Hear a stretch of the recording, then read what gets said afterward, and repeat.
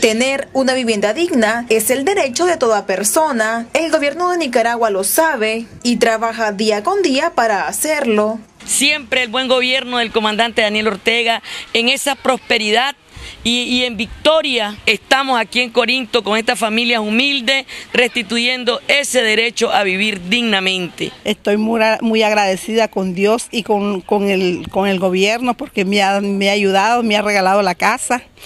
Y bueno, y espero en Dios que Dios lo bendiga y bueno, y me siento bien alegre pues porque tengo mi casa y antes no la tenía. En Corinto, 23 familias fueron protagonistas con la construcción de sus viviendas. Hoy pues me siento alegre, ¿verdad? Por tener algo de que hoy ya no me mojo. Hoy me siento bien, pues, me siento alegre por el gobierno, ¿verdad? Por verlos apoyados. Definitivamente nosotros tenemos unas líneas. Esas líneas tenemos que respetarlas, que es el gabinete.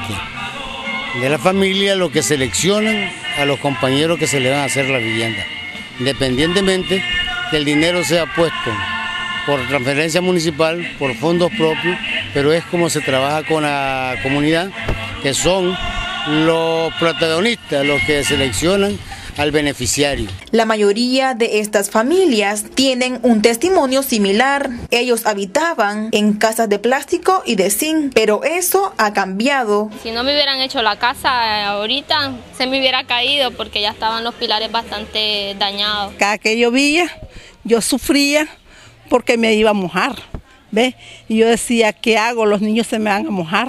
Sí, ahora cambia mi vida porque me siento feliz porque ya no me mojo, ya estoy, ya estoy bajo un techo.